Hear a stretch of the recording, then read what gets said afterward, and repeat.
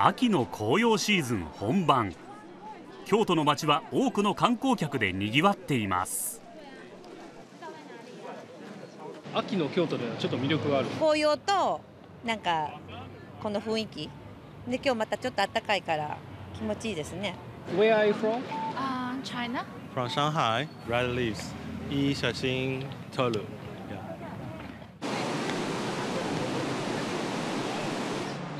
紅葉の名所渡月橋でも。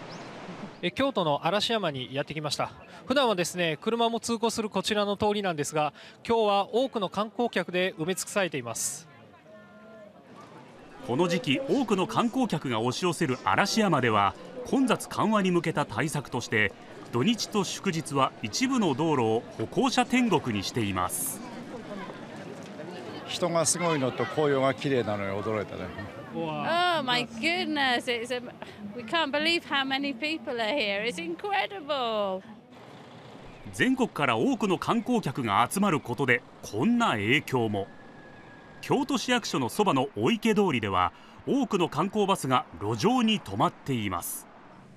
京都市は路上駐車をしないよう呼びかけていますが駐車場が足りないのが現状です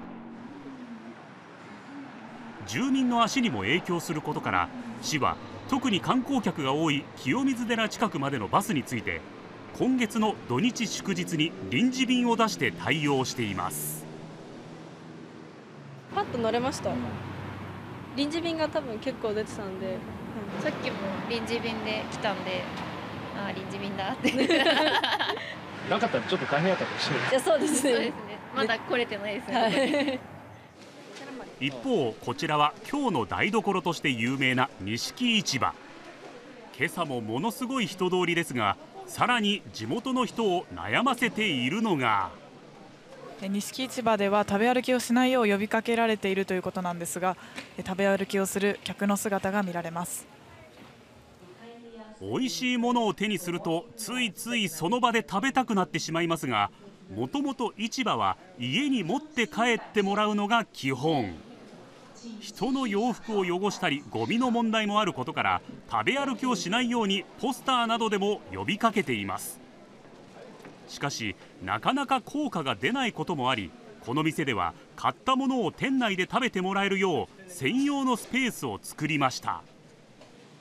毎日宵山ぐらいの人がわーって歩いてあって。だからこうここで食べてって言ったら「ああここやったら食べやすいね」って言ってくださるお客様もいらっしゃるから。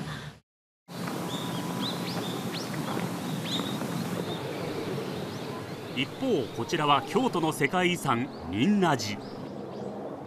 拝観者が多い時期は窓口に30分ほど並ぶこともあるということで始めたのがこちらにあります QR コードをこのようにスマートフォンで読み取るとこのように配管券を予約するサイトが出てきます。こちらでクレジットカードなどで配管券を購入することが可能です。インバウンド客のさらなる増加も見据え紅葉シーズンに合わせてオンラインでのキャッシュレス決済を導入。QR コードを読み込むだけで簡単に配管券を事前予約で買えるようになりました。オンラインで払えるとのことだったんで QR から入って ApplePay で支払いしました。慣れてる世代からしたら便利だし時短になる。現金をねその持ってないケースが多くて、まあ、途中でこうやはりこう断念される方がやっぱりこう複数おられましたので混雑の緩和も含めて、えー、まあ外国の人のこうねあの対応をまあ充実度を上げるためにまあ予約サイトをこう導入しました、まあ、将来的にはこれを少しこう広げていきましてあのこうスムーズな配管につながるようなことができれば、まあ、お寺としてはいいのかなと、まあ、そのように願っております。